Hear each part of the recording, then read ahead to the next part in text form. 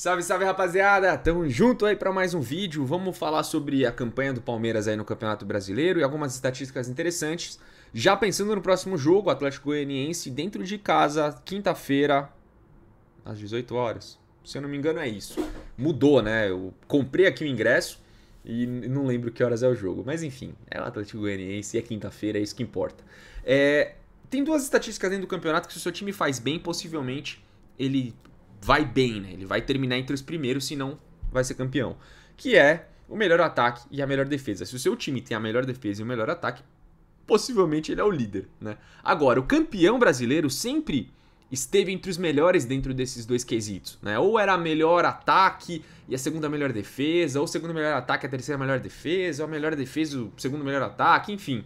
O campeão sempre esteve dentro dessas duas estatísticas que são das mais importantes. Quando você toma menos gols e faz mais gols, significa que você está vencendo mais, está tendo um saldo melhor e está é, pontuando dentro dos principais parâmetros do, do, campeonato, né? Que é o número de vitórias, o número de saldos, o número de gols feitos, né? Por ordem de importância. São esses. E dentro desse campeonato brasileiro, a defesa tem se mostrado um fator fundamental, principalmente para o Palmeiras. O Palmeiras o campeonato inteiro só sofreu 5 gols. E se você pegar esse ano de 2022, foram 39 jogos realizados e em 24 partidas o Palmeiras não sofreu nenhum gol. Ou seja, de 34 jogos, o Palmeiras não sofreu gols em 24 partidas. Isso equivale a 62% dos jogos dessa temporada. É bom para chuchu, ainda mais pensando que o Luan ficou machucado durante um tempão, que o Gomes saiu para servir seleção, Piquerez em algum momento esteve fora. Então o Palmeiras teve que. É, o Abel teve que sair arrumando peças aí. E o Palmeiras alinhou uma série de jogadores diferentes na defesa desde o começo da temporada até agora. Inclusive, ainda não estamos com a nossa defesa titular. E mesmo assim, só sofremos 5 gols. E você quer mais? O Palmeiras está a 6 jogos consecutivos sem sofrer gols, o que traz aquele quesito né, da baliza zero ah, é algo que o Palmeiras trabalha a exaustão, é um pedido é, não só do Abel, mas também do preparador de goleiros e de toda a comissão técnica, né? Esse negócio da baliza zero. O Everton fala bastante disso, é um, é um fator muito importante. Então são seis jogos sem sofrer gols contra times bem qualificados. A nossa, a nossa, a nossa sequência de jogos não tem sido fácil.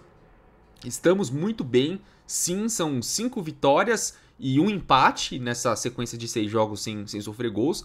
E foram jogos difíceis. Então a gente venceu o Bragantino em casa sem tomar gols. Venceu o Juventude no Alfredo Jacone sem sofrer gols.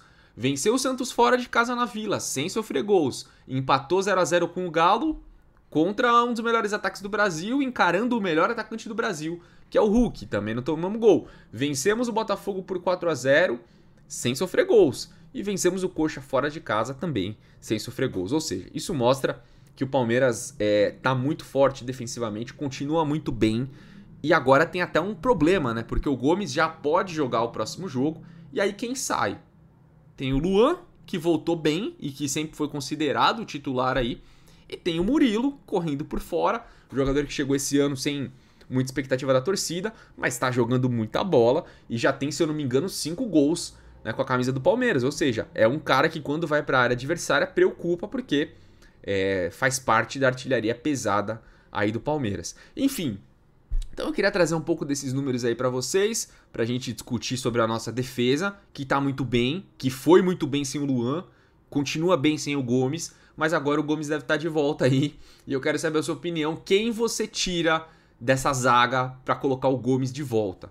Você tira o Murilo ou você tira o Luan? Ou você tira o Gomes. Vai, vai saber. De repente o cara gosta de, de Luan e Murilo.